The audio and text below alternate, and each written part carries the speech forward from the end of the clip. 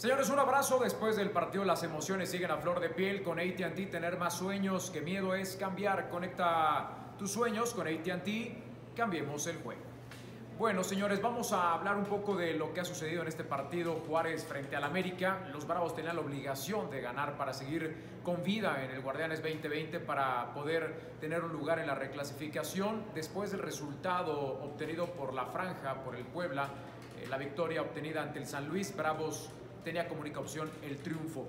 Y muy temprano en el partido logró ponerse al frente en el marcador el equipo de Gabriel Caballero, anotación de Darío Lescano, que ha sido de lo mejor, no solamente de Juárez, me parece que ha sido de lo mejor de todo el torneo. Un centro delantero de poder, un centro delantero con tremendo olfato de gol que te resuelve partidos, que es capaz de romper el hielo, que te marca una diferencia constante eh, duelo tras duelo. América no fue brillante, no lució en los primeros 45 minutos, inclusive muchas críticas por parte de su afición. Habrá que decir también que su, que su 11 no es ni siquiera cercano a un 11 estelar con algunas eh, modificaciones, quizás hasta improvisaciones. Herrera le ha dado descanso a elementos que, que acarreaban ya eh, cierta fatiga en los últimos duelos, considerando que estaba prácticamente calificado entre los primeros cuatro, no quiso arriesgar algunos elementos clave en el 11, les dio descanso, vinieron las modificaciones y le costó trabajo el funcionamiento al América. Ni Díaz, ni Barwen, ni Escobosa lucieron en los primeros 45 minutos. América fue mejor en el complemento, con mucho más empuje, mucho más consciente de que tenía que apretar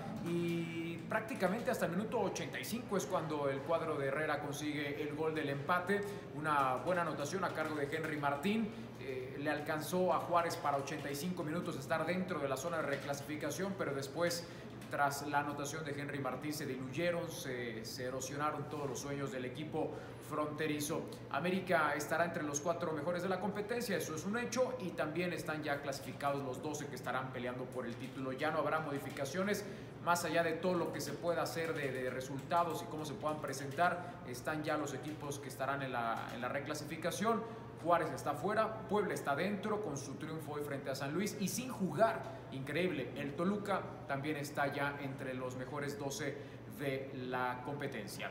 ATT está presente en la cancha durante la intensidad del partido con innovación del mañana porque estar conectado con la mejor tecnología es cambiar. ATT, cambiemos el juego. Empate en la frontera entre Juárez y el América, partió correspondiente a la fecha 17. Acabó todo para Juárez, acabó todo para Mazatlán, que tenía una ligera esperanza. El Puebla y el Toluca están dentro y América entre los mejores. Un abrazo y saludos.